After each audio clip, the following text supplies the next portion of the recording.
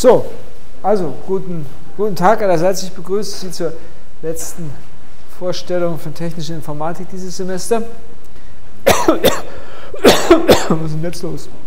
Aber ganz am Anfang, bevor ich anfange, hier noch weiterzumachen, wollte ich gerade noch ähm, eine Sache sagen.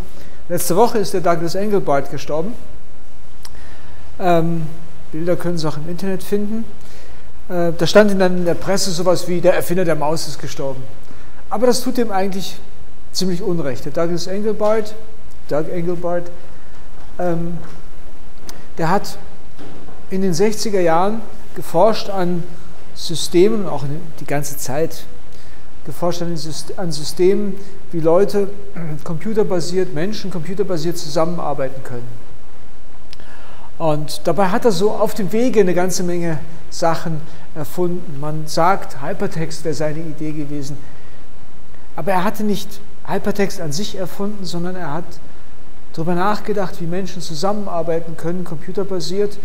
Und wenn man, äh, gutes Beispiel, also muss man noch ein bisschen ausholen, er hat 1967 eine Demonstration gemacht ähm, zwischen einem Labor in, in Stanford und, der, und, der, und einem äh, Tagungszentrum in San Francisco, also so 30, 40 Kilometer auseinander.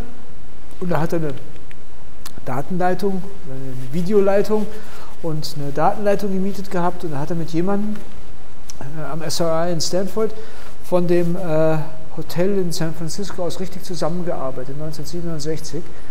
Das System hieß Online System NLS und diese Demo, die wurde später The Mother of All Demos genannt. Da hat er vorgeführt, wie man äh, ja, gemeinsam mit einem Computer zusammenarbeitet, also in zwei unterschiedlichen Orten. Da hat er schon eine Videokonferenz gehabt, ne, die haben also gegenseitig tatsächlich ein Video angucken können. Und er hat solche Konzepte gezeigt, aus denen manche Leute dann später das Hypertext gemacht haben, also das, was viele Leute für das Web halten. Ähm, dazu hat er auch die Maus gebraucht, weil er halt irgendeinen Pointer gebraucht hat. Aber er hat ganz viele Konzepte, auch Computer Supported Cooperative Work, CSCW, da vorgeführt mit dieser Demonstration. Also zu sagen, dass er die Maus, der Erfinder der Maus ist gestorben ist, ja, technisch vielleicht richtig, aber es tut dem Mann irgendwie überhaupt nicht der, der Kreativität ähm, von dem Douglas Engelbart überhaupt nicht, wird, wird das überhaupt nicht gerecht.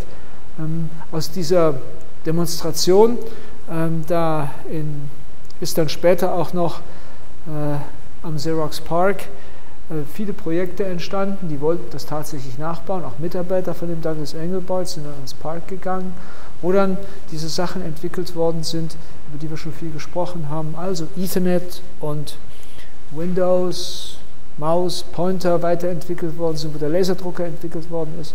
Also viele von diesen, gerade äh, das Netzwerk, das Ethernet oder auch ähm, die äh, die Windows, also Fenster, nicht Windows an sich, sondern Fenster und Mauspointer, was dann der Steve Jobs so genommen hat und äh, ähm, die Firma Apple größer gemacht hat.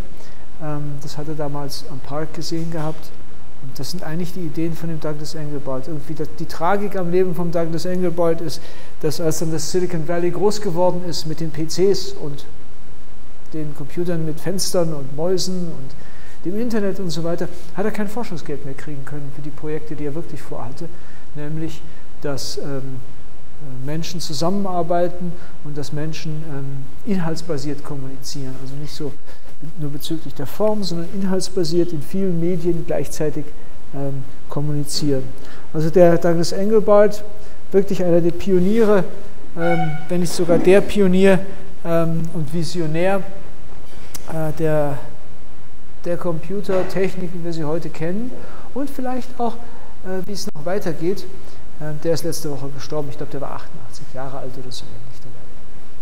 Und das dicke Ding war eben, das Inspirierende war eben diese Mother of All Demos 1967 und die Leute, die da drin saßen, ich war da noch nicht in dem Alter, wo man in sowas drin sitzt, ähm, die Leute, die da drin saßen, die waren einfach äh, völlig erschlagen. Das war wohl so eine Demonstration, wo alle hinterher rausgingen und sich gedacht haben, so jetzt haben wir mal die Zukunft gesehen. Ähm, so wird es werden und so ist es gut, wie sie werden soll. Also eine, eine richtige positive Vision. Obwohl die, es gibt Videos im Internet, die können Sie sich raussuchen zu diesem NLS.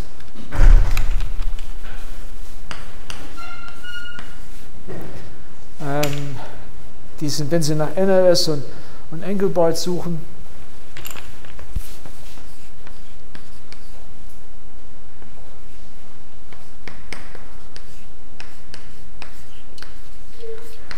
Da kriegen Sie das Video auch und ähm, das Video selber schaut ein bisschen schwarz-weiß und alt aus. Ähm, aber das ist äh, ja, sehr instruktiv und äh, wenn man noch ein bisschen weiter nachliest, sieht man auch, wie toll die Ideen waren, die der Mann hatte und was dann auch später in vielerlei Richtung geworden ist. So, jetzt möchte ich noch ein bisschen was äh, hier über technische Informatik weitererzählen. Wir sind letztes Mal beim RAM hängen geblieben, bei Random Access Memory. Und wir haben geschaut, wie die DRAMs funktionieren.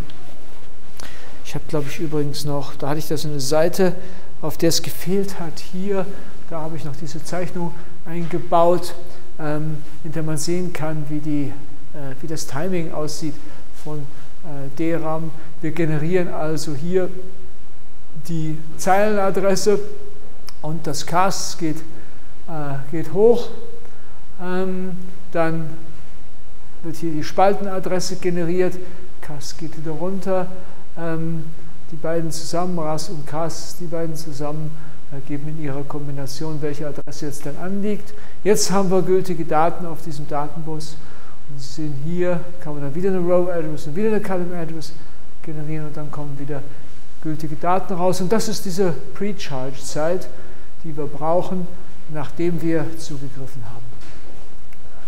Müssen wir wieder diese vertikalen Leitungen alle auf VCC halbe vorladen. Also ähm, das, das Timing-Diagramm, das man sich da anschauen kann.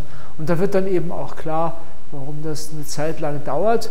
Und Sie sehen, von dem Augenblick, wo wir hier Daten haben, braucht es eine ganze Weile, bis wir hier wieder Daten bekommen können. Wenn, wir müssen erst hier den Precharge machen, TP, Time for Precharge, dann können wir Row Address und Column Address generieren.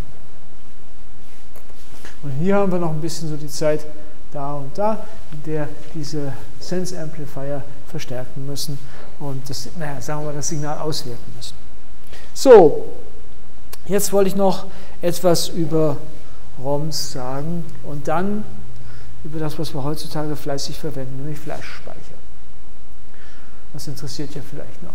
Das ist übrigens der Flash-Speicher, ist übrigens aus einer Frage auch in der Vorlesung entstanden. Manchmal wird ja doch gefragt.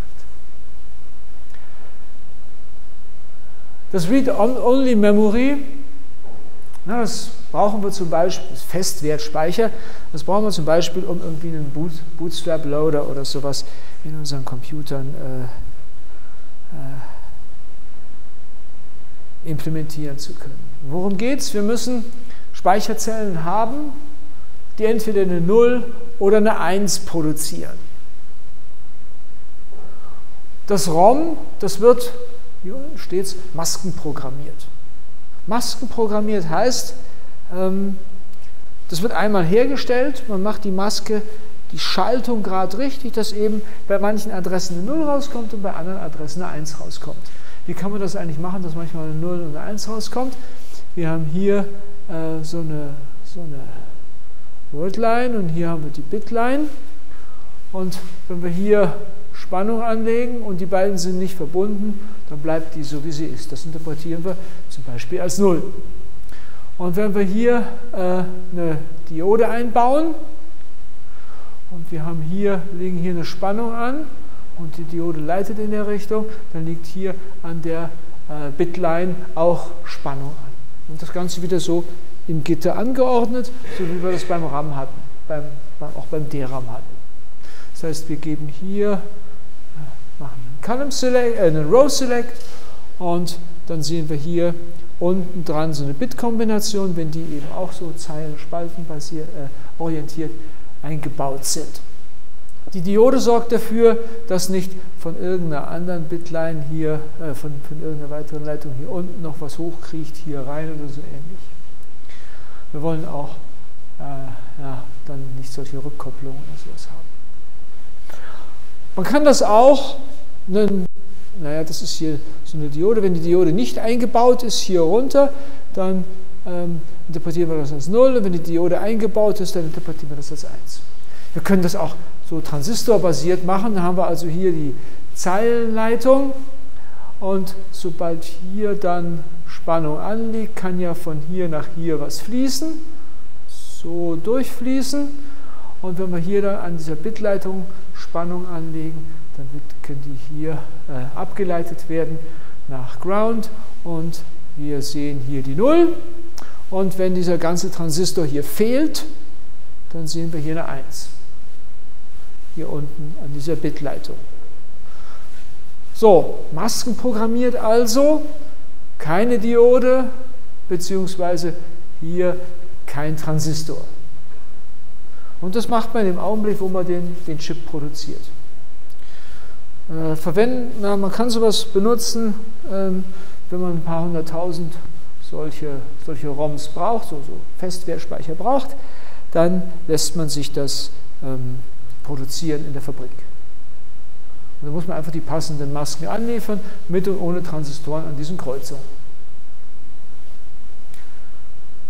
Wenn man jetzt nicht ein paar hunderttausend braucht, sondern nur ein paar hundert, ist das natürlich nicht besonders ökonomisch. Deshalb gibt es etwas, das heißt Programmable ROM. Da stecken überall solche Dioden drin, in dieser ganzen Matrix. Das heißt, zunächst steht die ganze Matrix auf 1 oder stecken, wenn wir das in der anderen, in der Transistortechnik machen, stecken überall Nullen, die ganze Matrix steckt auf Null. Aber wir haben an jedem Anschluss von dem Transistor bzw. an jedem Ausgang von den Dioden so ein kleines Stückchen vom Draht, das hitzeempfindlich ist und das schmelzen kann. Fuse. Das ist so wie die, die Sicherung, ähm, die in Ihrem Auto äh, da für die, für die Scheinwerfer und fürs Radio und, und so weiter eingebaut ist.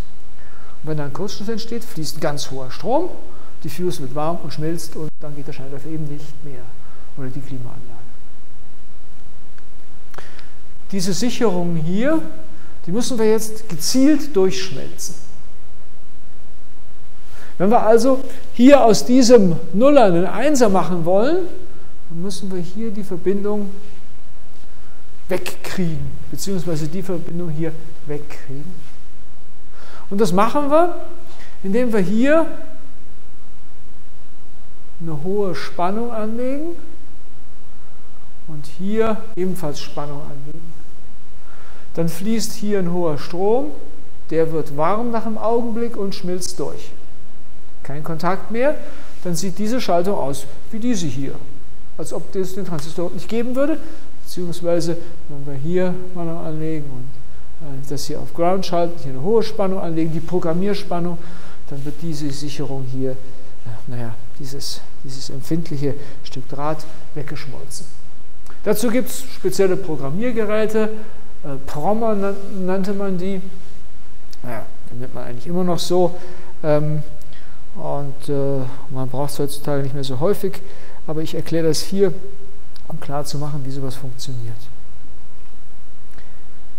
ROMs und PROMs. Jetzt müssen wir, naja, das Dumme ist, wenn man so einen PROM gemacht hat und es fällt einem ein, dass man eigentlich einen Fehler gemacht hat, äh, dann kann man das trotzdem nur wegwerfen. Wenn man die hier, wo man sich dann eine Million Stücke besorgt hat und einem fällt auf, dass man einen Fehler gemacht hat, äh, dann braucht man einen großen Mülleimer. Hier schmeißt man nur einen Chip weg. Und naja, wenn man irgendwie äh, ja, Computer gebaut hat früher oder so, ja, auch sowas hier, dann hat man natürlich beim Experimentieren, beim Entwickeln öfters mal so ein Prom machen müssen. Und es war irgendwie, ist natürlich schade, wenn man es dann wegwerfen muss, nachdem man es programmiert hat. Man programmiert es, steckt es rein in die, seine Schaltung, startet an, testet zwei, drei Minuten, ach, geht ja nicht. Dann schaut man in sein Programm an, stellt fest, natürlich, das hier muss ja nicht uns, sondern oder heißen. Also muss man ein neues Prom brennen, das alte ist eben kaputt. Schon wieder ein paar Mark in der Tonne. Okay. Deshalb hat man sich EPROMs einfallen lassen und die EPROMs funktionieren in derselben Technik wie das Flash oder EEPROMs. Und da gibt es einen, ja, ich erzähle, wie die konstruiert sind. Und dann wird es auch gleich ein bisschen klarer, auch viele Eigenschaften von unserem Flash Memory und von unseren SSDs werden dann klarer. So ein Erasable PROM besteht aus, ich meine, das hier ist der normale Transistor. Schauen wir uns das erstmal an. Wir haben hier unten ein Substrat und in dem Substrat sind Ladungsträger drin. Und so ein Transistor, der leitet, wenn wir, wenn hier zwischen den beiden grünen Teilen, diesen Inseln da, das ist mit Ground verbunden und das hier ist die Ausgangsleitung, wenn hier genügend Elektronen zur Verfügung stehen, kann es einen Fluss von Ladungsträgern von hier nach hier geben. Also hier rüber. Dann können die Elektronen wandern, wenn genügend Elektronen hier oben sind. Im Normalzustand von dem Transistor, wenn hier oben keine Spannung anliegt, sind die Elektronen hier gemütlich hier unten verteilt und es gibt nicht genügend Elektronen hier zwischendrin, damit man so eine, so eine Kette bilden kann. So eine Art Weiterreichkette. Wenn man hier 5 Volt anlegt, dann werden die Elektronen, die hier unten so gleich verteilt rumschwimmen, die schwimmen, gehen hier nach oben, weil die von den 5 Volt angezogen werden, versammeln sich hier und dann sind genügend da, dass die hier so eins hier raus und da drüben eins rein in diese grüne Insel da fließen können. So, ein Prinzip, wie ein Transistor funktioniert. Das Ding hier speichert aber gar nichts. Wenn die 5 Volt weg sind, machen sie sich wieder dünn, die, die Elektronen, und verteilen sich da so im Sinne der Entropie gleichmäßig. Und der leitet hier wieder nicht. Das wollen wir ja eigentlich ne? für, für den normalen Transistor, für den normalen Feldeffekt-Transistor. Und jetzt gibt es hier besondere Transistoren, diese Floating Gate Transistoren.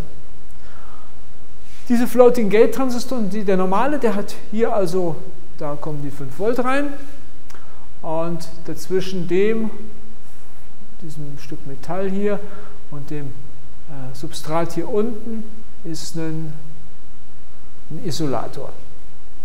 Und da kommen die Elektronen auch nicht durch.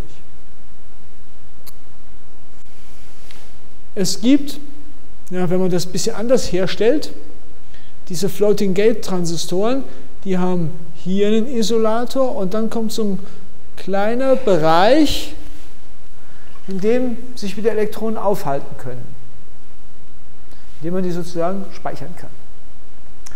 Und dann gibt es wieder einen Isolator und hier oben sind die 5 Volt.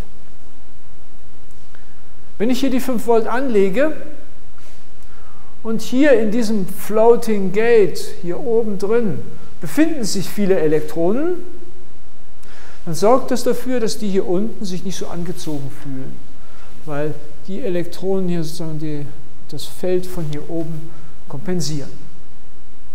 Okay? Nehmen wir mal an, es ist okay. Wenn hier in diesem Floating Gate wenig Elektronen drin sitzen, wenig Ladungsträger drin sind, dann entsteht hier ein Feld und die hier können nach oben gezogen werden, die Elektronen hier unten drin im Substrat und dann kann diese Kette zustande kommen, dass hier Elektronen fließen. Wenn ich hier also keine Elektronen drin habe oder wenig Ladungsträger drin habe, dann kann ich äh, hier 5 Volt anlegen und der Transistor schaltet durch. Wenn ich hier 5 Volt anlege und sind viele Ladungsträger da drin, dann schaltet er nicht durch. Das hier ist also ein kleiner Speicher. Jetzt haben wir nur noch das Problem, wir müssen diesen kleinen Speicher auf Befehl, wenn wir das Ding programmieren, wenn wir abspeichern, müssen wir dieses Floating Gate hier mit Elektronen voll kriegen. Und wenn wir löschen wollen, dann müssen wir die auch wieder rauskriegen oder umgekehrt. Wir müssen die also hier aus diesem Floating Gate vertreiben können, die Elektronen, und wir müssen sie reinholen können. Wenn wir es drin haben und wir legen hier oben Spannung an, so, dann fließt hier kein Strom. Keine Ladungsträger. Und wenn hier nichts drin ist, wenn wir sie vertrieben haben, dann können hier Ladungsträger fließen. Und jetzt kommen wir zu dem zweiten Teil, diesem, das ist ein Isolator hier, der da, beziehungsweise der da, der da, der da, das sind Isolatoren. Da kriegen wir natürlich nicht so leicht Elektronen durch. Wenn wir das hier aber richtig ausgestalten, das Material da, da, da, dann kriegen wir in einer bestimmten Konfiguration, über die wir gleich sprechen, Elektronen von hier unten da hinein, beziehungsweise wir können Elektronen von hier, hier raus vertreiben. Und dazu, das, das, wir müssen die hier durch, diesen, durch den Isolator durchtunneln. Entweder in der Richtung raus oder in der Richtung rein. Das ist dieser Fowler-Nordheim-Tunneleffekt. Da gibt es verschiedene Techniken, wie man, das, wie man das machen kann. Beim äh, EPROM, Erasable PROM, da muss man das mit UV-Licht machen. Da legt man also, da ist oben so ein Stück Glas in dem Chip drin, der ist nicht zu, sondern es ist ein Stück Glas. Und unter dem Glas sind all diese Floating Gate Transistoren. Und jetzt schaltet man UV-Licht ein, lässt das Ding da 20 Minuten Sonnenbräunen unter dem UV-Licht oder UV-Licht bräunen.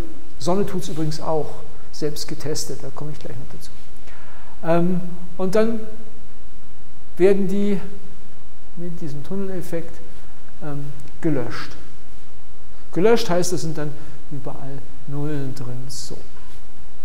Die tunneln hier oben rein, durch diese Schicht durch. Selbst getestet.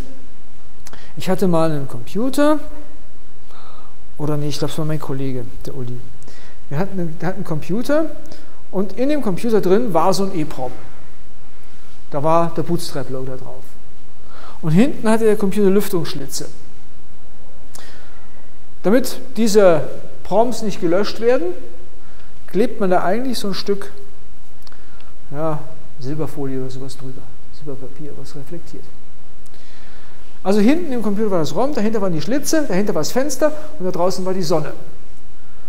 Über, die, über naja, das Jahr oder so ähnlich ist dieses draufgeklebte Stückchen Silberfolie ähm, der Klebstoff, äh, naja, durch die intensive Sonnenbestrahlung, durch die Hitze im Computer, ist der Klebstoff alt geworden. Das, das Stückchen Silberfolie ist runtergefallen.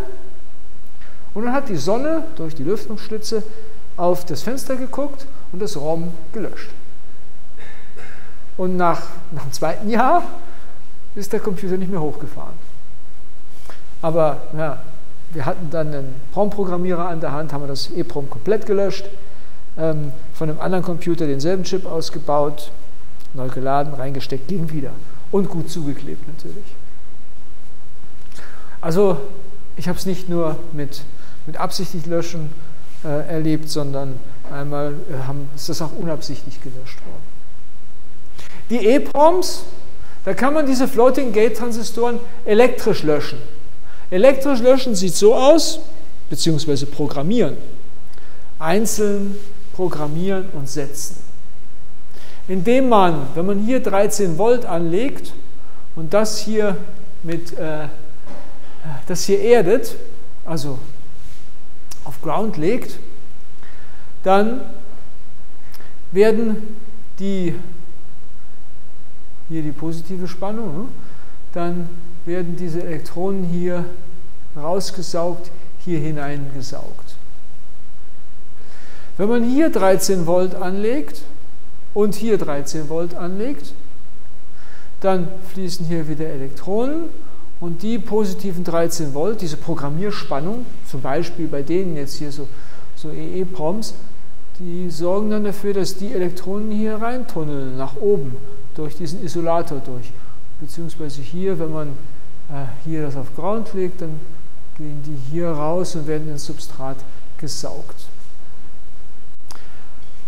Ja, ähm, man muss es nicht unbedingt mit 13 Volt machen, man kann das auch mit weniger Spannung haben. Da muss eigentlich auch die Lesespannung hier nicht 5 Volt sein, sondern auch niedriger. Klar, die Lesespannung muss deutlich niedriger sein als das hier. ähm, also vielleicht 1 Volt und 5 Volt, da muss man die Schichten hier ein bisschen dünner machen. Beim EEPROM, da kann man gezielt einzelne Zellen so löschen bzw. programmieren. Ähm, beim Flash Memory ist das so bankweise angeordnet. Da gibt es solche Pages, die man auf einmal löscht.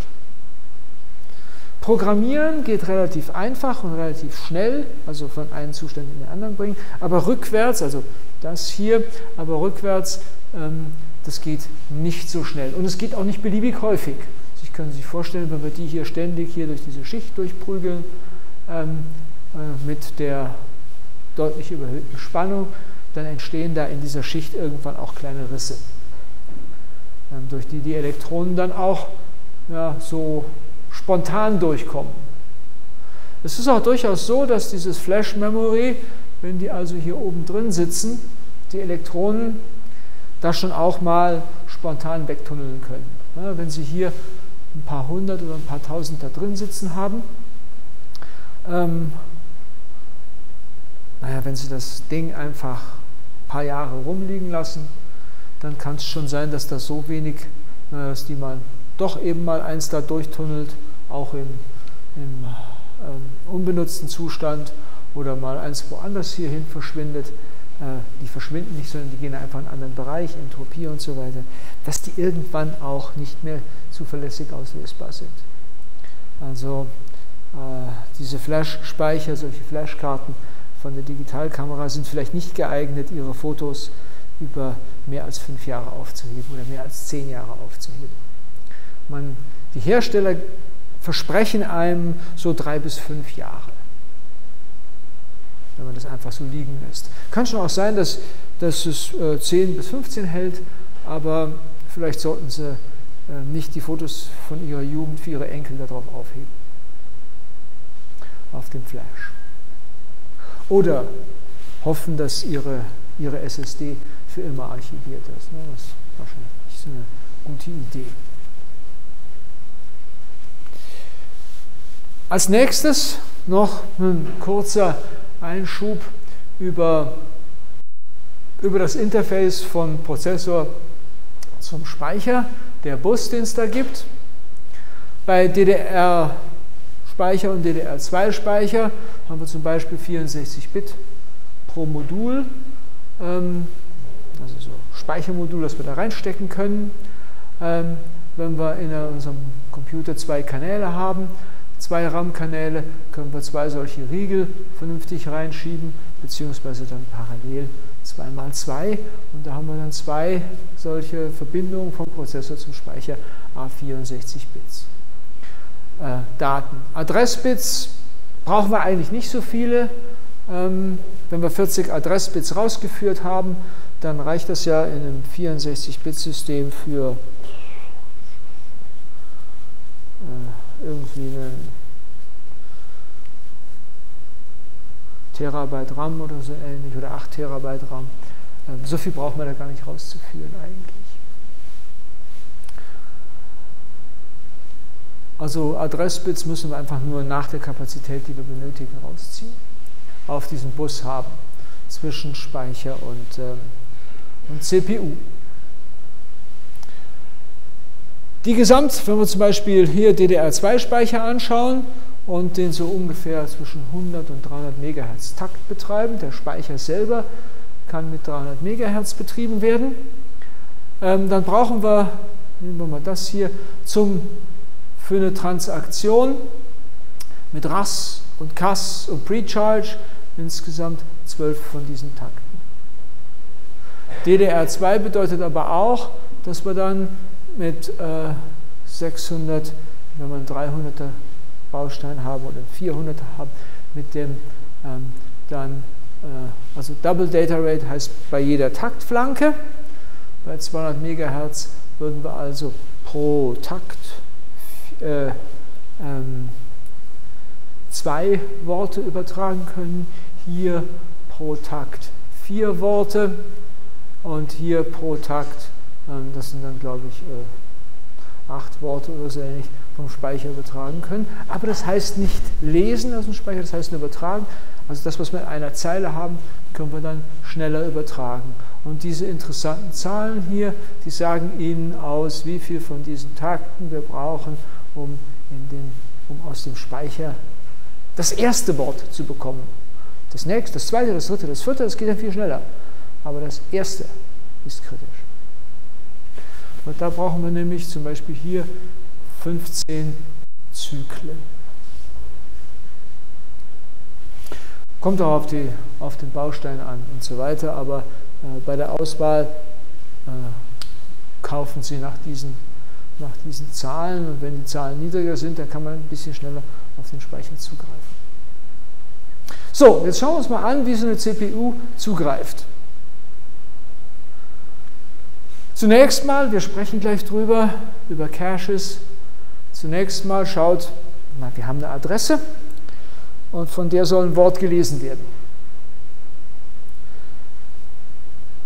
Die Hardware guckt nach, ob diese Adresse, ob das Wort zu dieser Adresse vielleicht schon im Cache drin liegt.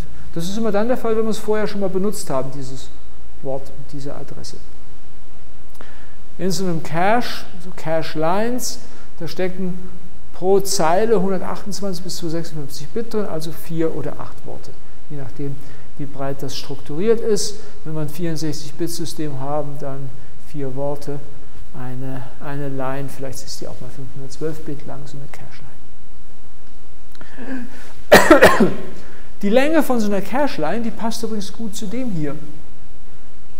Ich habe ja gesagt, wir können, wenn wir ein Wort gelesen haben aus dem Speicher, ganz billig an das nächste und das übernächste und das überübernächste Wort drankommen. Und wenn wir an die vier, also insgesamt an vier Worte kommen, dann passt es gerade in so eine Cache-Line rein.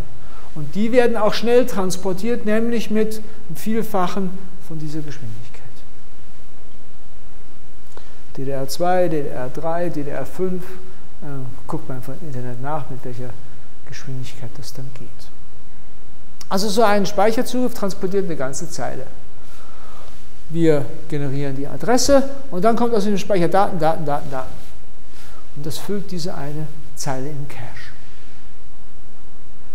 Ja, beim äh, P6-Bus, das ist so ein, so ein Core-Prozessor, äh, mit 64-Bit-Architektur, ähm, da gibt es dann den Read-Request und das Memory Reply, dann kommt das zurück. Ein Mitarbeiter hat mal so einen Test gemacht, ähm, der hat sequenziell 75 Mega Speichertransaktionen äh, pro Sekunde geschafft. Ähm, das heißt, im Mittel hat der Speicher, der hier so DDR2-mäßig zurückgeliefert hat oder DDR-mäßig, das weiß ich nicht mehr genau, 11 ähm, CPU-Takte gebraucht.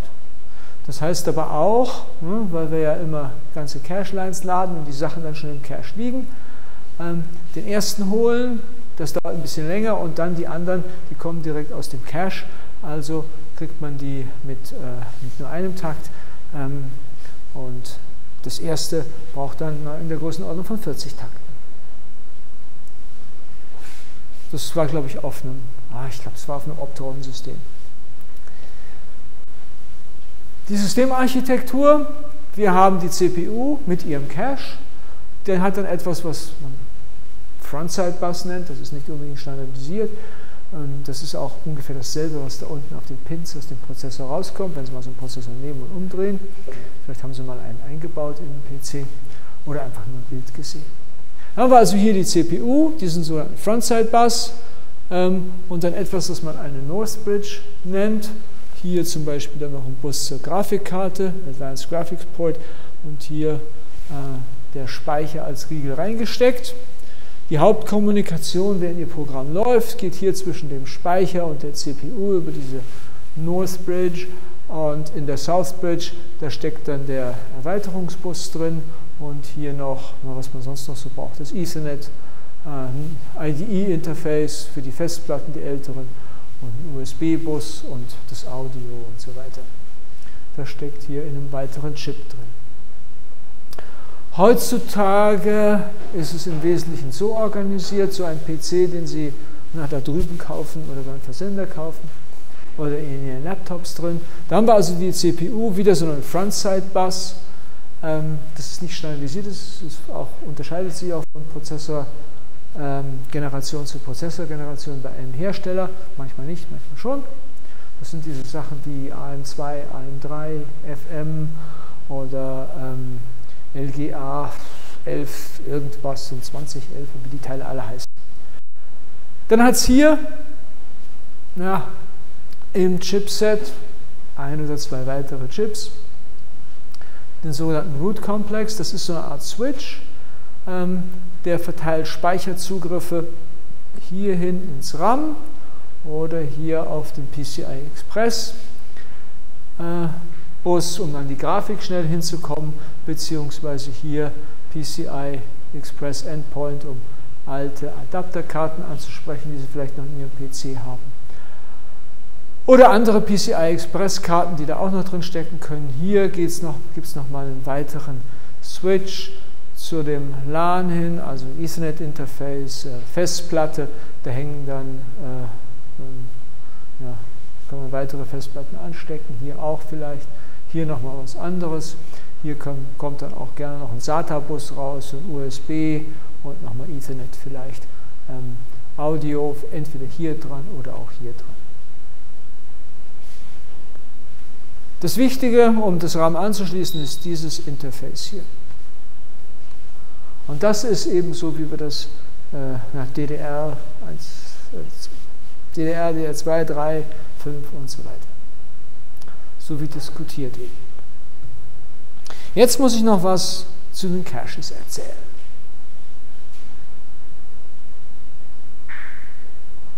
Das Problem, das habe ich jetzt schon ziemlich häufig genannt, ähm, liegt in dieser MEM-Stufe von der Pipeline, von unserer DLX-Pipeline, aber natürlich bei jedem anderen Prozessor auch, bei jeder Architektur auch. Wenn man die Daten im Zyklus, in dem einen Zyklus schreiben kann oder lesen kann, dann ist es gut, sonst hat es Stalls. Das DRAM ist aber ganz klar zu langsam, wenn wir so ein SD-RAM nehmen mit 100 MHz. Das ist übrigens auch dann ein DDR-RAM mit 100 MHz. Der Kern vom RAM ist derselbe, bloß der, äh, der Bus kann besser Bursts transportieren. Ähm, wenn wir also so ein, so ein normales RAM nehmen, was auf 100 MHz läuft und ja, bei einer entsprechenden Annahme wie schnell der Prozessor ist, führt uns das gleich mal zu 50 Stalls. Wenn der, schneller, wenn der Prozessor ein 4 GHz Teil ist, dann gibt es vielleicht noch ein paar mehr Stalls. Da muss man vielleicht schnelleres RAM kaufen, dass man wieder in der Größenordnung von 50 Stalls ist. Aber so schnell wird es RAM nicht, außer es geht gewaltig ins Geld. Also so wie die Balance heute ist in unseren Computern, mit DDR3 in der Größenordnung von, ja, sagen wir mal, 400 Megahertz oder so. Ähm, da haben wir, wenn wir ins RAM wirklich müssen, um zu lesen, gleich mal 50 Stalls in der Pipeline. Vielleicht können wir noch was anderes machen, irgendwelche anderen Instruktionen schedulen. Vielleicht haben wir noch eine Multiplikation oder eine Division, die da rumgeistert. Haben wir ja gesprochen, out of order execution. Aber tatsächlich müssen wir einfach immer mal warten. Und diese Warterei auf dieses langsame DRAM, die kann uns nicht gefallen. Insbesondere beim Zugriff auf den Programmcode kann es uns nicht gefallen. Wir wollen den Programmcode, wenn wir aus dem Speicher holen, noch ein bisschen in der CPU drin aufheben. Schauen wir uns mal sowas an. Wir haben also hier eine CPU und da haben wir einen Kern und der hat bitte einen Level 1 Cache für die Instruktionen und nochmal einen Level 1 Cache für die Daten. Übrigens auch getrennt, sonst haben wir gleich wieder einen Resource-Konflikt zwischen Mem und Instruction Fetch. Darüber haben wir ja vor ein paar Wochen gesprochen. Also zwei Caches hier für Daten und für Instruktionen. Wenn wir also eine Instruktion holen und das Ding ist leer, der Cache, und der Cache ist auch leer und der Cache ist auch leer, dann müssen wir ins RAM. Im RAM holen wir, wenn so eine, wenn so eine Line ähm, 256 Bit lang ist, acht Instruktionen auf einmal. Die stehen dann, ja, wenn das aus dem RAM geholt wird, landet das hier und hier und insbesondere auch hier im Instruction Cache. Wenn wir also die Instruction Fetch, die nächste Instruktion holen, dann liegt die schon hier und die übernächste auch und wir können uns freuen, dass da schon so viele geholt sind. Wir können übrigens auch hier spekulativ gleich noch die nächste Zeile holen, die weiteren Adressen holen. Können wir uns überlegen, ob wir so einen Instruction Prefetch machen. Aber das ist dann nochmal was Separates. Also, wenn wir auf ein Stück Daten dann zugreifen, wenn da irgendein Load drin steht, dann wird wieder hier festgestellt, ah, steht nicht im Cache. Das nennt man einen Cache Miss. Der Cache Miss führt dazu, dass wir mal hier nachgucken im L2 Cache. Sagen wir mal, der hat auch einen Miss, aber der L3 Cache hat einen Hit und liefert zurück. Dann haben wir vielleicht statt 50 Stalls nur 10 oder, oder 5 oder so. Wenn wir es hier haben, keinen Stall, wenn wir es hier finden, ein oder zwei Stalls, wenn wir es hier finden, drei, vier, fünf Stalls, wenn wir es nur hier finden, 50 Stalls. So die, die Größenordnung, so eine Kaskade. Cache, also äh, ich glaube, es gibt einen deutschen Ausdruck dafür, der heißt Prozessor-Pufferspeicher. Damit wir jetzt hier in den nächsten 50 Minuten noch was über Caches erzählen können, sage ich nicht immer Prozessor-Pufferspeicher. Also es ist ein, ein halbwegs schneller Speicher zwischen der Pipeline und dem RAM. Da steht drin, was wir schon mal benutzt haben weil wir schon mal bei der Instruktion vorbeigekommen sind, weil wir da schon mal einen Load gemacht haben auf diese Daten.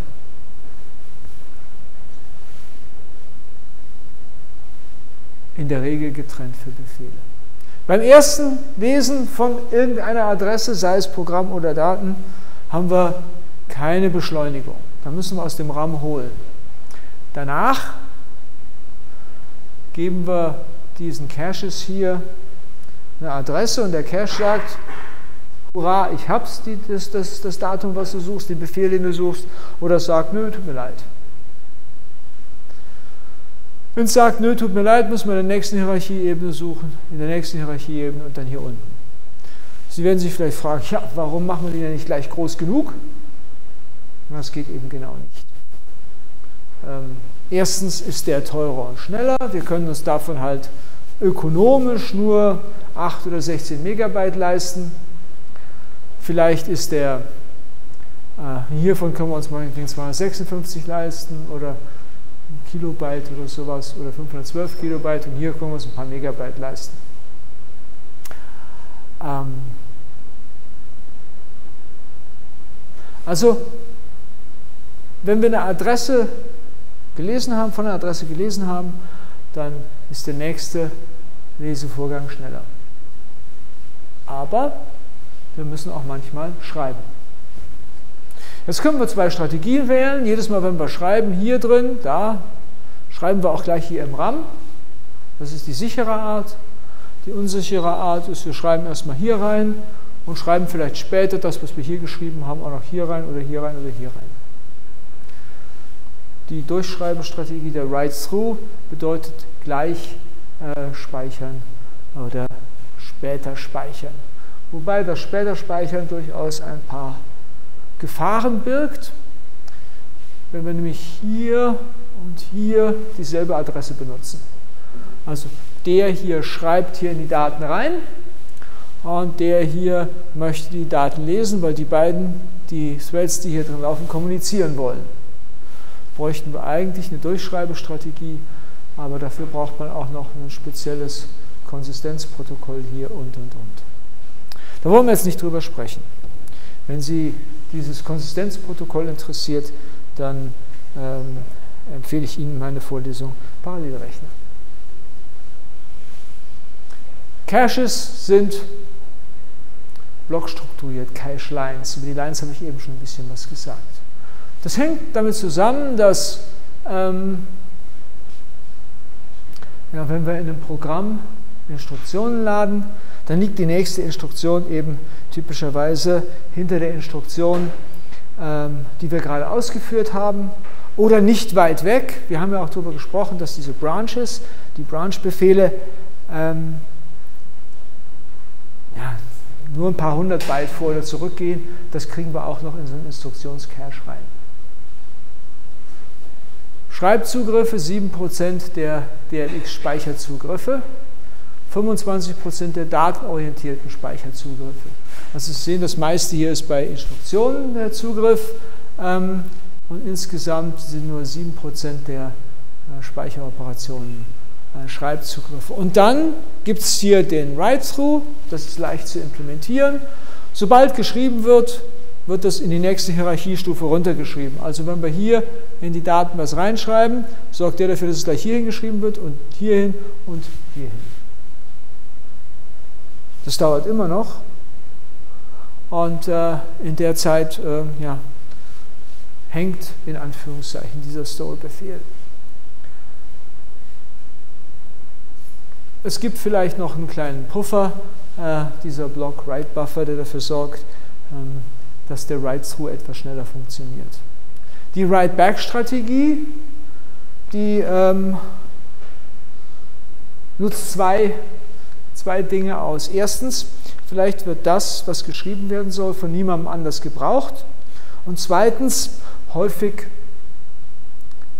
kann es sein, dass es sowieso nicht gebraucht wird was da geschrieben wird, dass es nur irgendwie eine Zwischenvariable oder sowas war. Also wir schreiben erst, wir schreiben, wenn wir schreiben, nur im Cache, die Modifikation wird nur im Cache durchgeführt.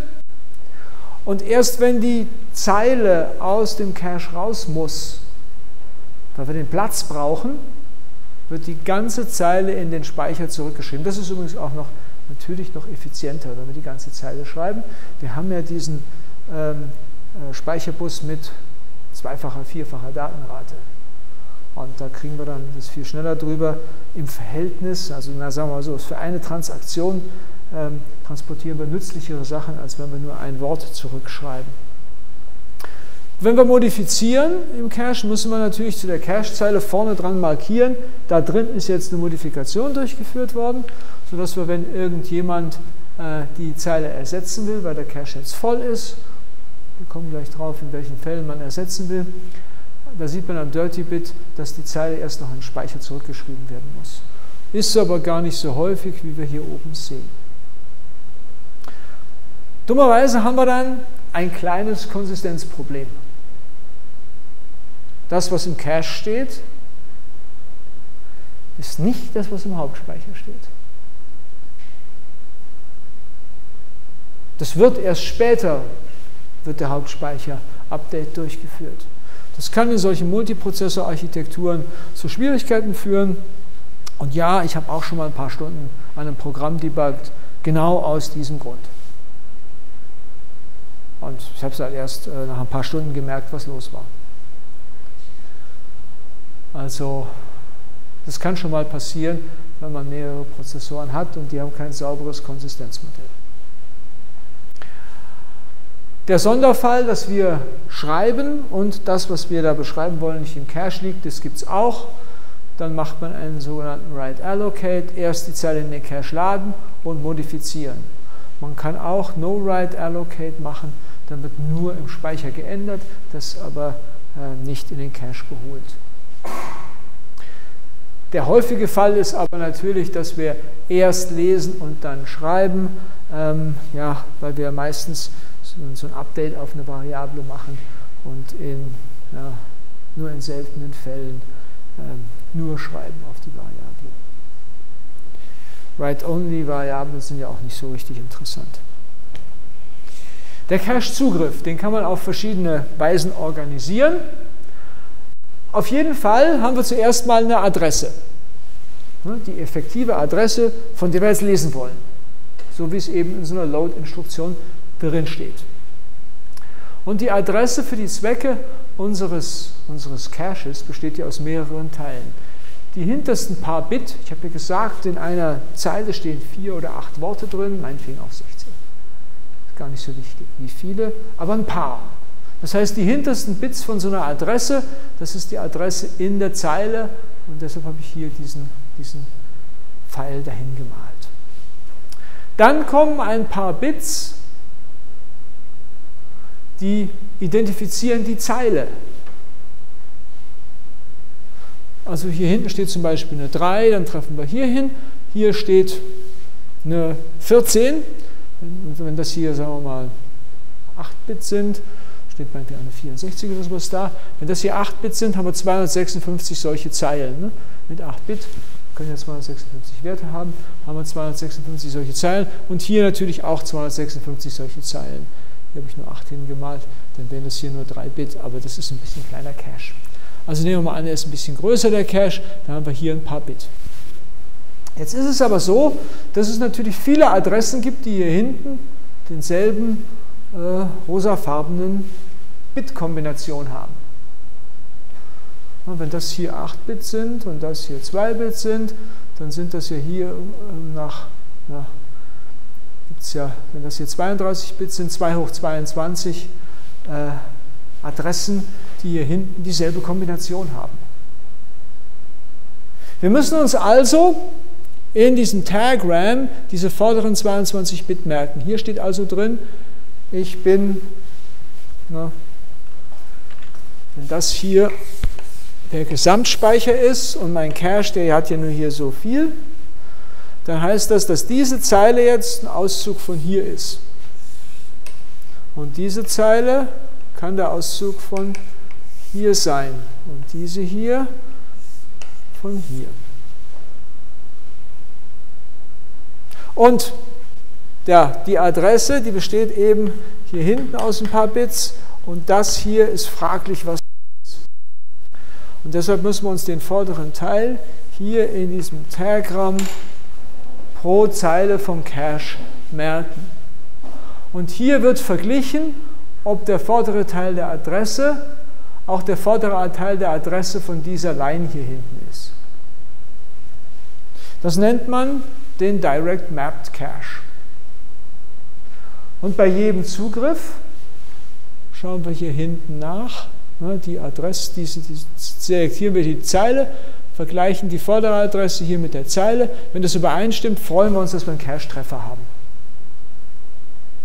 Wenn es nicht übereinstimmt, dann müssen wir eben in die nächste, in die nächste Cache-Stufe bzw. ins RAM. Das ist der Direct Map Cache und eigentlich gefällt uns das nicht, denn das bedeutet ja auch, dass wenn wir auf zwei ähm, Variablen zugreifen, die gerade um, sagen wir mal, 1000 Byte auseinander liegen bei unserem Beispiel, ähm, wenn wir dass wir dann immer die ganze Zeile auswechseln müssten, wenn wir da so abwechselnd zugreifen. Dieser, das ist ein Konflikt, ein struktureller Konflikt, den wir da eingebaut haben. Jetzt kann man auf die Idee kommen, diese Adressen hier nur, diese Adressen hier, hier, hier beliebig zu machen. Das heißt, wir haben nur einen Zeiger hier hinten rein und hier vorne drin die Adresse, die vergleichen wir mit dem, was hier steht. Weil wir hier trotzdem nur 256 oder 1000 Zeilen drin haben können, wegen der Größe, müssen wir hier dann beim Zugriff alle Tags hier mit dem vorderen Teil der Adresse vergleichen. Das Dumme ist, dass so ein Assoziativspeicher nicht einfach zu implementieren ist. Was wir nicht haben wollen, ist mit der ersten Zeile vergleichen, mit der zweiten, mit der dritten, mit der vierten, mit der fünften Zeile vergleichen. Das wäre ja sequenziell und würde ganz schön lang dauern. Bei 256 Zeilen müssten wir 256 Vergleiche hinterher machen, ähm, hintereinander machen. Das bringt es jetzt irgendwie nicht so sehr. Das kann man mit ordentlichem Hardwareaufwand kompensieren, Assoziativspeicher. Aber ja, das kann man sich nur eingeschränkt leisten. Deshalb macht man meistens so eine Kombination, wegassoziativ. Wir haben ähm, eigentlich so einen Direct Map Speicher, also diese Zeiger hier, die gucken hier immer an dieselbe Zeile und das, was hier liegt und das, was hier liegt und das, was hier liegt und das, was hier liegt, wird mit dieser Adresse verglichen. Das können wir dann auch äh, na, mit etwas Hardwareaufwand noch schnell hinkriegen. N Wege, dann haben wir so N solche Cache-Lines in einem Set drin. N-Weg äh, Set Associative nennt man das dann hat man dieses Problem nicht, dass man, wenn der Speicher gerade dumm auseinander liegt, ähm, dass man dann immer den, äh, die Caches auswechseln muss, die Cache-Lines. Ähm, naja, das reduziert einfach die Wahrscheinlichkeit, dass man auswechseln muss, um hier äh, die entsprechende Größenordnung. Das ist das, was man heutzutage so benutzt und das ist das, was wir zum Erklären brauchen, warum man das so macht und das hier ist uns zu teuer. Wäre aber schön. Also so macht man es heutzutage.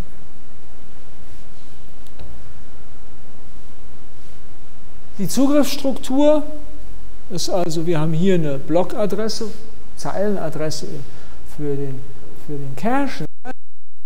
Hier hinten den Offset, das ist nur das da, wo man eben in die Cache-Line reingreift. Und das hier besteht aus einem Index und einem Tag, ähm, so wie eben auf der Folie vorher diskutiert. Der Block-Offset, der führt uns zum Datenwort, nachdem wir die richtige Zeile, die richtige Cache-Line gefunden haben. Was wir außerdem noch brauchen, ist dieses Valid-Bit. Ähm, ob ein Eintrag vorhanden ist oder nicht.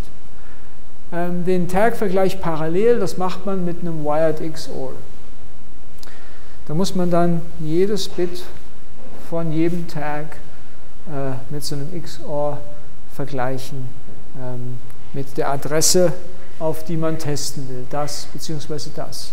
Das kann man sich hier bei Vieren oder Achten leisten, das kann man sich bei 1000 Einträgen nur noch unter großem Aufwand leisten. So ein Wired XOR. Falls wir eine neue Cache-Line holen müssen und unser Cache ist voll, dann müssen wir in einem, in einem Speicherbus-Burst die ganze Zeile rausschreiben. Wir müssen uns, ja, falls das Dirty Bit gesetzt ist, das ist noch so ein zweites Bit hier oben. Wir müssen uns natürlich überlegen, welche Cache-Line wir auswechseln. Wir haben jetzt also festgestellt, wir brauchen, wir müssen den Speicher zugreifen ähm, und Speicherzugriff, wir haben einen Cache-Miss, alle Cache-Lines sind voll, wir wollen jetzt eine Cache-Line ersetzen, weil wir ja glauben, dass jetzt das, ne, das alte, was, naja, eine von den Cache-Lines, die werden wir schon nicht mehr brauchen, das ist die Spekulation. Und diese eine Cache-Line, die ersetzen wir jetzt durch was anderes. Das, was wir aus dem Speicher holen.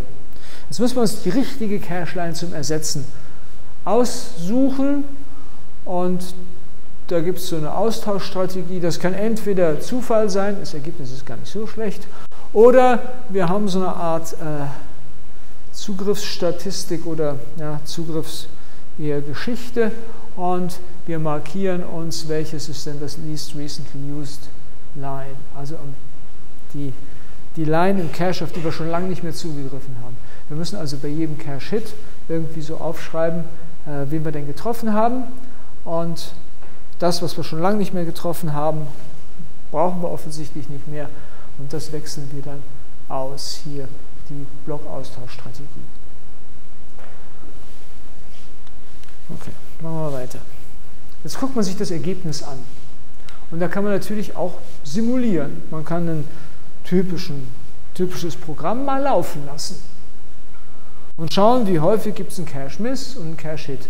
Das macht man nicht auf dem Prozessor so, wie er ist, sondern da muss man jetzt ähm, einen Simulator schreiben der, diese, der den Cache simuliert. Und dann führen wir das mal aus. Es gibt drei Ursachen für Cache Misses. Ähm, den unvermeidlichen, den nennt man Compulsory, den habe ich hier unten so rot markiert, das ist eigentlich der uninteressante. Compulsory bedeutet, ähm, ja, wir haben das Datenwort noch nicht angefasst, wir haben die Instruktion noch nicht gebraucht, also wird sie schon auch nicht im Cache liegen. Kann sie ja gar nicht im Cache liegen. Also, das ist das rechnen wir mal raus. Aber das ist ja, das ist ja Programm inhärent, da kann man nichts dran tun. Dann gibt es das Größenbedingte. Unser Cache hat eine bestimmte Größe und wenn wir unser Programm so schreiben, dass es einfach immer nur durch den Speicher durchgeht, durch möglichst große Speicherbereiche, überall da, wo wir noch nicht waren, na, dann kann das Zeug eben auch nicht im Cache liegen. Ähm, aber jedes Programm hat natürlich irgendwelche produziert früher oder später, nicht jedes, aber viele Programme produzieren früher oder später so ein Capacity-Problem. Aber das ist ja auch, naja, angesichts der Größe unvermeidlich. Man kann sich aber überlegen, wie viel Cache ist denn sinnvoll? Und bei den Simulationen kommen da auch vernünftige Zahlen raus. Es stellt sich raus, dass, dass man keine Gigabyte großen Caches braucht. Das bringt es eigentlich nicht mehr. Und dann gibt es die konfliktbedingten. Konflikt bedeutet, dass das Speicherzugriffsmuster, hier ist es leicht zu erklären, gerade so ist, dass wir mit verschiedenen Daten auf diese Cache-Line treffen, weil sich eben diese Adressen unterscheiden. Oder hier in diesem Fall bei Vierweg-Assoziativ, unser Zugriffsmuster ist gerade so, dass wir das irgendwie da so zyklisch durchgehen und achtmal dieser Adressteil gleich ist und dann muss hier eben entsprechend immer wieder rausgeworfen werden, wenn er nur Vierweg-assoziativ ist. Und jetzt schauen wir uns diese Zeichnung an. Beim Einweg Direct Map Cache, hm, das ist der, der, die primitivste Variante, diese hier. Da kommt dann diese Kurve raus.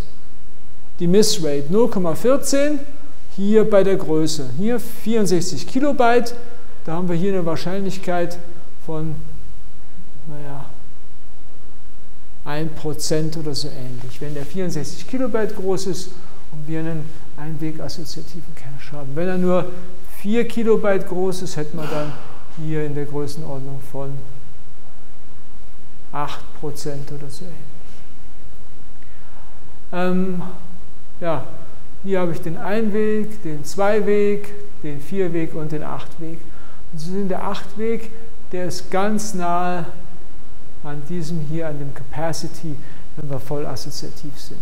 Also acht, Achtweg äh, assoziativ reicht eigentlich gut, kommt hier raus. Und Sie sehen auch, dass wir die, dass wir die ähm, Missrate nahe an das Compulsory reinbringen in der Größenordnung von 32, 64 Kilobyte. Das ist also durchaus eine vernünftige Größe für das, was wir hier haben. Wenn die Blöcke größer werden, also in der Zeile länger sind, die Cache-Lines länger sind, braucht es länger, bis wir den Cache nachgeladen haben. Das passt aber gut zu, zu, der, äh, zu der Art von Speicher, die wir haben, DDR2, DDR3 und so weiter die, die Länge von den Cache-Lines. Weil ja na, dann eben beim DDR3 in den Burst so, viele Worte rüber können, rüberkommen. Bei der Assoziativität, na, das schauen wir uns hier an, eigentlich ist Achtweg assoziativ nur noch marginal schlechter als vollassoziativ. Was gerne hilft, ist etwas, das man Opfercache nennt. Dass man nochmal eine, eine extra Cache-Line hat oder meinetwegen auch vier extra Cache-Lines hat zu den normalen Cache-Lines dazu, in die das, was hier bei so einem Konflikt, bei dem Direct Mapped oder bei dem Assoziativ, ähm, Wegassoziativ Mapping, äh, was da rausfliegt, ähm, was dann da hineinkommt dieser Opfercache. Der bringt erstaunlich viel. Kann man auch in der Literatur nachlesen. Den muss man dann eigentlich assoziativ auch adressieren. Ähm, ja, hier noch äh, ein Prefetch bei einem Miss ist eigentlich eine gute Idee. Wenn der Block i geholt wird, kann man sich überlegen, ach, holen wir den Block i plus 1 gleich auch noch. Das kann ja der Prozessor selber generieren, insbesondere beim Programmladen. Äh, ist das gut, weil wir ja häufig sequenziell durchs Programm durchgehen. Prefetch-Anweisung vom Compiler. Ähm, wenn man die Architektur kennt, kann man auch die Cache-Logik um so einen Prefetch bitten. Und wenn der Compiler, der hat ja vielleicht die Chance, ihn sich, äh, der sieht ja besser, was ihre Schleifen äh, machen, der kann schon mal auch für den Prefetch sorgen. Was Compiler auch versuchen, ist Arrays ähm, zu mischen, sodass sie nicht in der Reihenfolge drinstehen, wie ihr Programm dazugreift. Äh, Entschuldigung, nicht in der Reihenfolge drinstehen im Speicher, wie sie es deklariert haben, sondern wie ihr Programm zugreift. Das kann ja sein, dass ihr Programm spaltenweise, äh, spaltenweise zugreift und nicht zeilenweise oder sowas. Dann ändert der Compiler schon mal auch die Reihenfolge, äh, wie das im Speicher steht. Jetzt möchte ich noch ja, so, so. In einem weiteren kurzen Kapitel über Virtual Memory sprechen. Virtueller Speicher.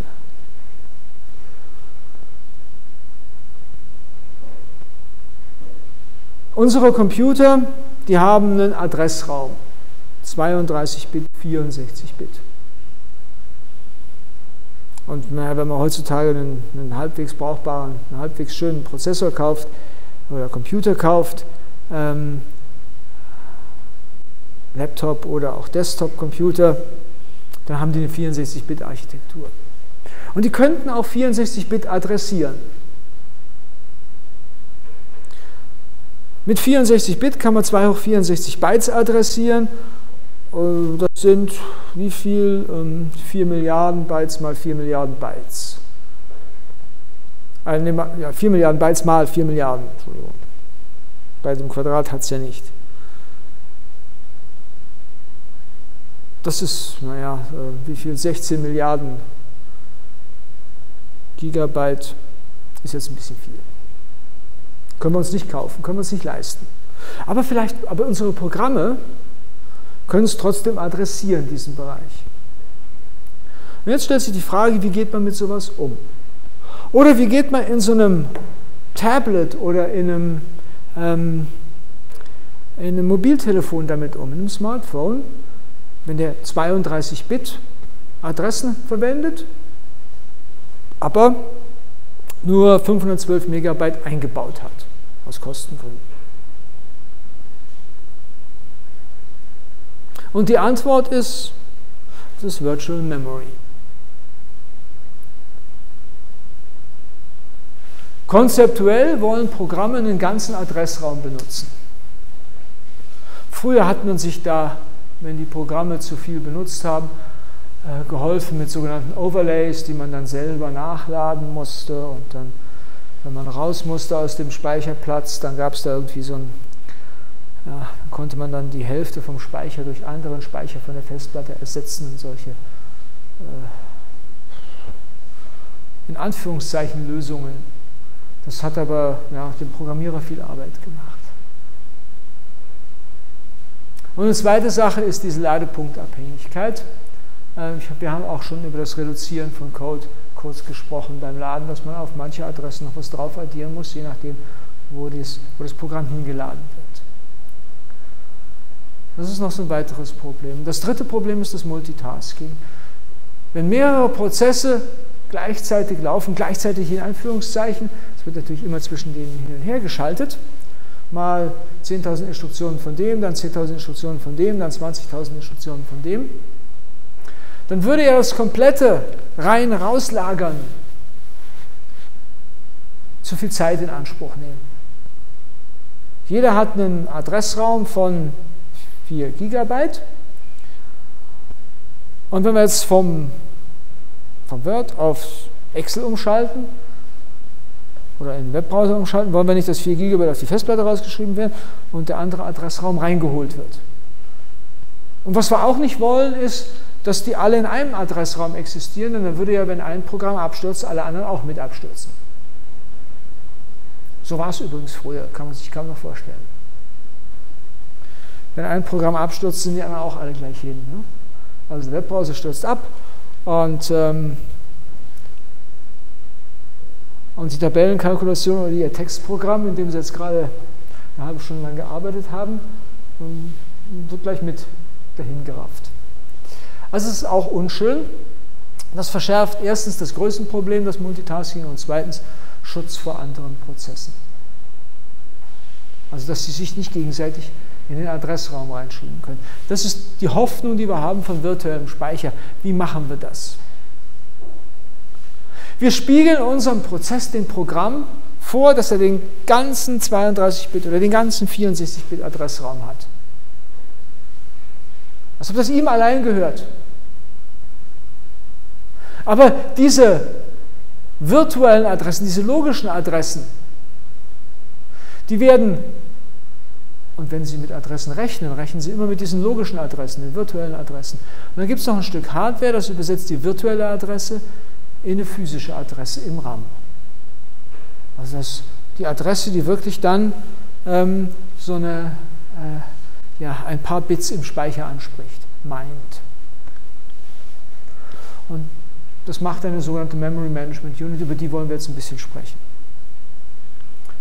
Der physische Speicher in der Regel beschränkt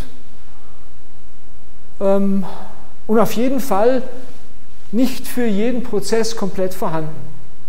Also wir haben 20 Prozesse am Laufen und das kann nicht für jeden dieser volle Adressraum vorliegen.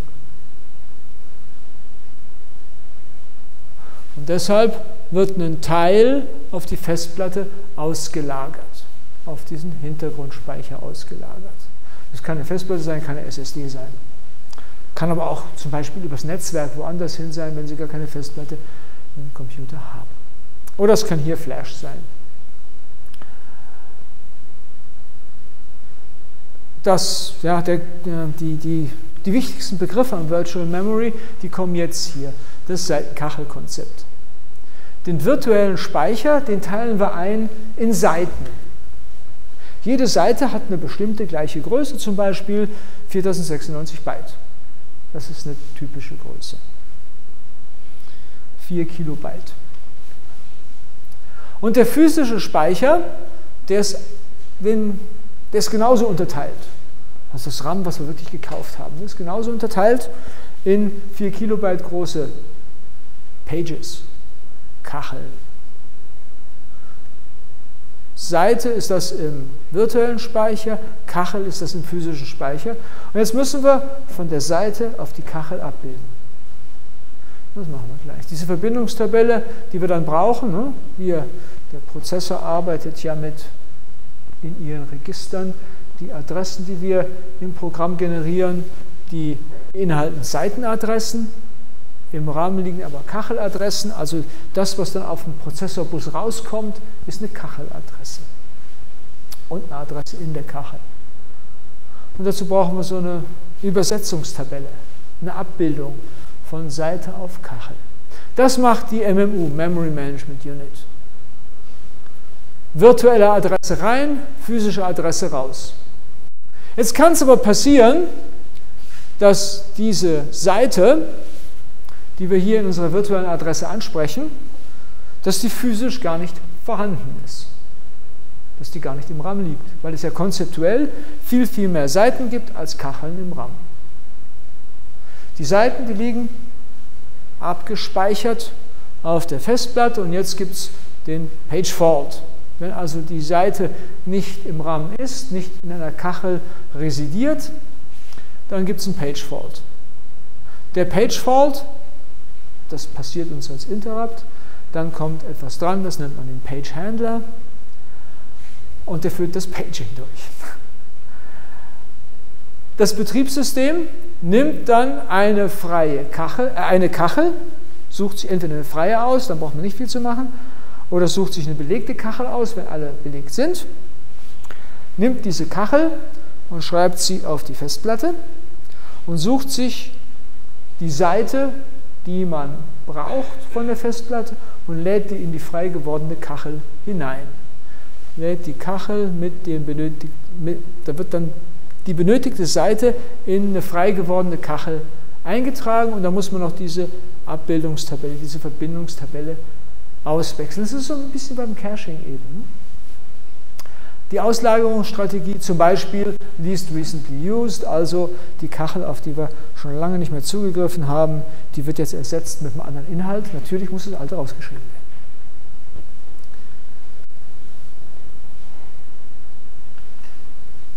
Und jetzt habe ich hier eine Zeichnung, die habe ich vor ganz vielen Jahren mal gemacht. Deshalb schaut die auch für heutige Verhältnisse so hässlich aus.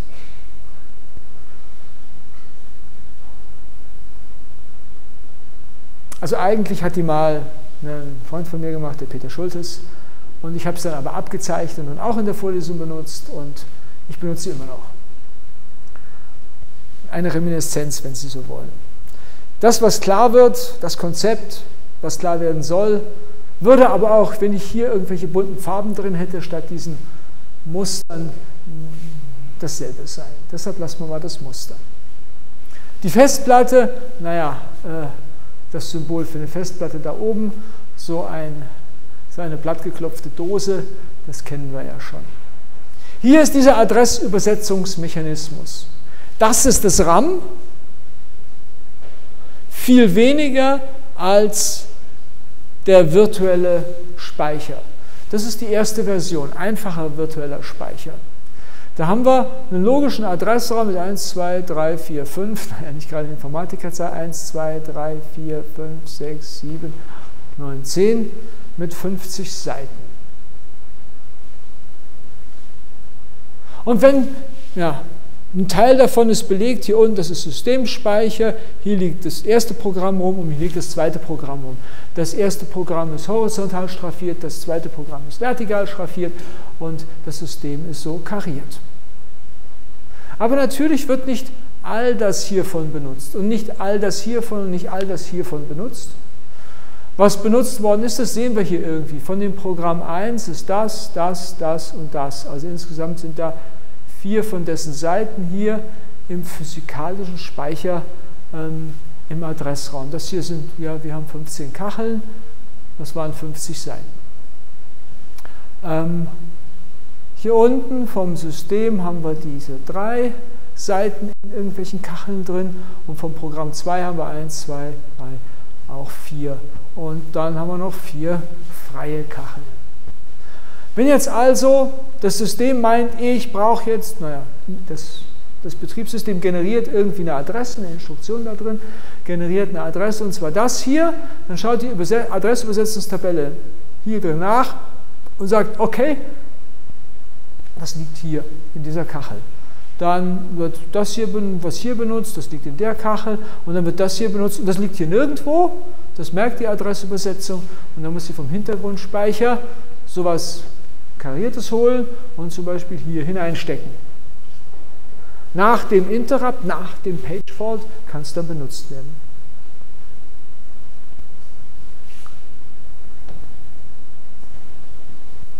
Das hier hilft bei dem Problem wenig Speicher im Verhältnis zum Adressraum. Das war Problem Nummer 1. Problem Nummer drei, das Multitasking, das packen wir jetzt an. Jedes Programm hat einen eigenen virtuellen Adressraum. Und die Memory Management Unit sorgt dafür, dass sie sich nicht gegenseitig in den Adressraum reinschreiben. Hier also ja, Programm 2, der Adressraum, Programm 1 und das System. Ein Teil vom Systemadressraum brauchen wir übrigens auch hier und auch hier. Das ist dann eingemappt. Damit der hier mit dem hier kommunizieren kann, wenn Sie zum Beispiel einen Sektor auf die Festplatte schreiben wollen oder holen wollen. Also dieses, dieser Adressraum hier, da sind also ein paar Kacheln davon, äh, ja, ein paar Seiten davon hier in Kacheln drin, die da, die da, die da und die da. Hiervon ist was hier drin und davon ist auch was hier drin und hiervon natürlich auch. So, wenn wir jetzt also dieses Programm am Laufen haben, dann, wenn das Betriebssystem sich einen von diesen drei Prozessen hier aussucht, zum Beispiel das Programm 2 zum Laufen bringen will, den Prozess 2 zum Laufen bringen will, dann wird hier die Adressübersetzung umgeschaltet, sodass diese Seite hier abgebildet wird auf das da und so weiter. Wenn jetzt mal das Programm 1 drankommt, wird die Adressübersetzung wieder umgeschaltet und das hier wird dann auf das hier abgebildet. Oder das hier, eigentlich dieselbe Adresse wie hier, dieselbe logische Adresse, wird aber dann auf eine andere Kachel hier im physikalischen Adressraum abgebildet. Ne, so kriegt man Virtual Memory für viele Prozesse hin. Und wenn Sie in Ihrem, in Ihrem Windows-Rechner zum Beispiel diese DOS-Kralle da benutzen, ne, Ctrl-Alt-Delete, dann kommt der Process Manager. Das haben Sie sicher schon mal gemacht. Und im Process Manager kann man sich dann anschauen, wie denn das Memory benutzt wird. Da gibt es irgendeinen Tab, da kann man Memory anschauen. Und da steht dann unten äh, die verschiedenen Sorten von Memory, dass das irgendwie so bunt markiert, rot und blau und grün und sowas. Und wenn eine Seite hier benutzt ist, dann heißt das committed. Und da können Sie sehen, wie viel von Ihrem Adressraum, von Ihrem RAM, den Sie haben, 4 GB oder was, 8 viel da benutzt ist. Und ja, rot und noch eine andere Farbe sind dann die, die hier irgendwie festgeschraubt sind, die gebraucht werden. Und dann gibt es noch ein bisschen, was frei ist. Wenn Sie nur 2 GB drinstecken haben, wird es in dem typischen PC nichts mehr geben, was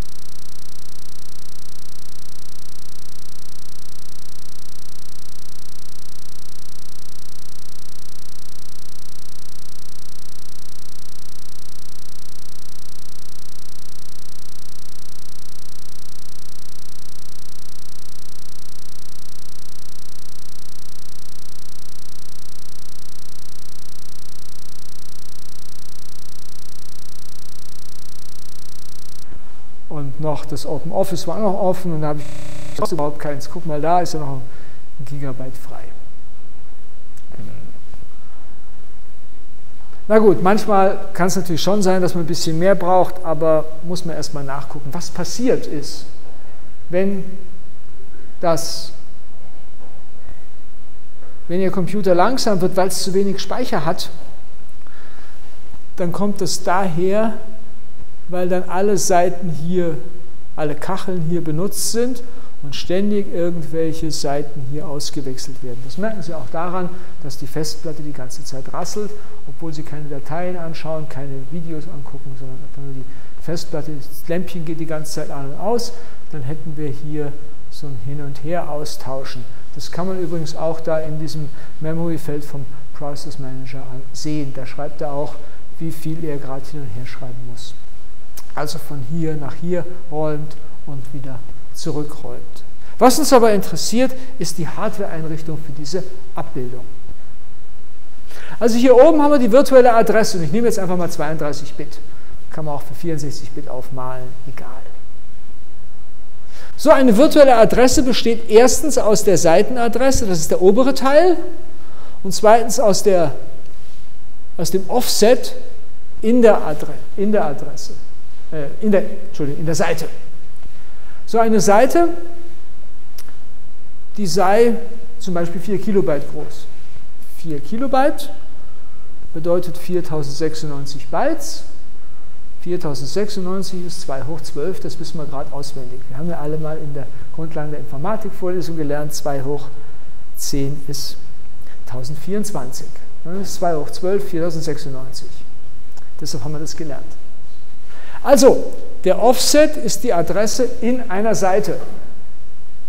Der vordere Teil, der ausgetauscht werden muss, den nennt man auch ähm, der, das ist die Seitenadresse. Und aus der Seitenadresse machen wir mit etwas, das heißt die Seitenkacheltabelle, dem hier die Kacheladresse. Und dann nehmen wir hier, also hier nehmen wir 20 Bit, das benutzen wir als Index in der Tabelle. Hier vorne sind noch ein paar Bits, die so zur Verwaltung dienen. Schauen wir uns gleich an. Die hinteren 20 Bit hier, die benutzen wir, um ja, die, 12, die 20 Bit, die hier rauskommen, die wir hier mit diesem Index erreicht haben, die verknüpfen wir, konkatenieren, zusammenhängen. Das Plus ist ein bisschen übertrieben. Äh, das hängen wir zusammen, dieses hier mit dem hinteren Teil, und das ist die physikalische Adresse. Physische Adresse im Arbeitsspeicher. Und dazu dient diese Übersetzungstabelle. Wir müssen also die vorderen 20 Bit nehmen, im Speicher nachgucken, nach, dieser, nach diesen 20 Bit, und dann haben wir die Adresse, mit der wir zugreifen können. Die Tabelle, die muss natürlich im Speicher liegen. Also die physische Adresse ist die, der der Offset von der virtuellen Adresse plus das, was in dieser Tabelle drin steht, hier in dieser Spalte Kacheladresse. Hier vorne steht, sind noch ein paar Bits, die sagen, na, schauen wir uns gleich noch an, haben wir noch ein paar Minuten. Weil das hier im Speicher liegt, würde das also bedeuten, dass wir für jeden Speicherzugriff eigentlich zwei Speicherzugriffe brauchen. Das wird ja noch langsamer, dann wären wir aus unseren 50, die wir eben hatten, bei 100. Das funktioniert jetzt nicht so gut. Deshalb gibt es etwas, das heißt Translation Look-Aside Buffer. Und das ist Cache genau für die Adressübersetzung. Wir äh, generieren eine virtuelle Adresse. Die virtuelle Adresse, mit der schauen wir mal, das geht schnell, im Translation Look-Aside Buffer, der ist im Prozessor drin. Der produziert uns eine Adresse, eine Hardware-Adresse, eine physikalische Adresse und mit der probieren wir es mal im Cache oder mal im Hauptspeicher. Je nachdem, ob wir einen Cache-Hit oder einen Cache-Miss haben. Wenn das nicht im Translation Look-Aside Buffer ist, wenn wir einen TLB-Miss haben, dann müssen wir in diese Seitentabelle nachschauen, in diese Seitentabelle nachschauen und die Übersetzung durchführen, so wie hier. Das Ergebnis kommt in diesen Translation Look-Aside Buffer, in diesen Adress-Cache rein. Wenn die Seite nicht physisch vorhanden ist, dann braucht es das Betriebssystem, der Page Fault Handler und der lädt dann vom, von der Festplatte die, die Seite in irgendeine Kachel rein, dann wird die Seitentabelle in Ordnung gebracht und dann kann man zugreifen.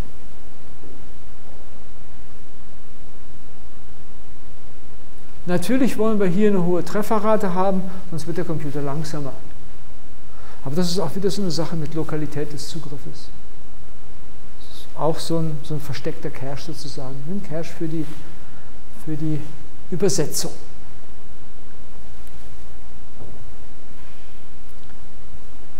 Diese Tabelle hier, die wird, wenn der Speicher groß wird, bei 32 Bit ist, müsste man dann hier schon 2 hoch 20 eine Million Einträge haben. Wenn da hier jeweils 4 Byte drin stehen, wären schon 4 Megabyte vom Hauptspeicher futsch dafür. Das, und wenn es bei, ja, bei 64, ne, dann hätten wir hier 2 hoch 52 Einträge, das geht sowieso nicht. Also muss man das hierarchisch veranstalten. Die virtuelle Adresse wird aufgeteilt in eine Ebene 3 Seitentabelle, äh, Index, in eine Ebene 2 Index, in eine Ebene 1 Index. Dann gibt es noch so eine Kontexttabelle, die als Hardware im äh, Prozessor vorhanden ist.